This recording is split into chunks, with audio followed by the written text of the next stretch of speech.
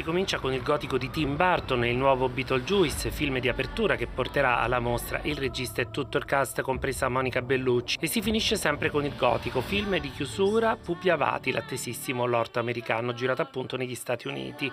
In mezzo di tutto e di più, in una vera e propria girandola di star, Joaquin Phoenix e Lady Gaga per il nuovo Joker.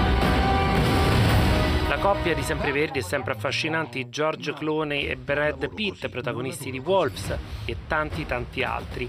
Cinque film italiani in concorso, insieme a una pletora di titoli fuori concorso nelle sezioni collaterali. Campo di battaglia diretto da Gianni Amelio racconta la prima guerra mondiale e l'epidemia di spagnola con Alessandro Borghi.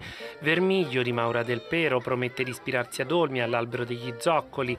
E ha sempre meritato un posto speciale. L'attesissimo Iddu di Piazza e Grassadonia racconta la latitanza di Matteo Messina Denaro con un'interpretazione importante di Elio Germano. E poi ancora Queer di Guadagnino con Daniel Craig nel ruolo di una vita e Diva Futura di Giulia Steigerwald, ispirato alla casa di produzione di Riccardo Schicchi. Un programma ricchissimo che il direttore Barbera, fresco di riconferma, si appresta a dividere con il pubblico.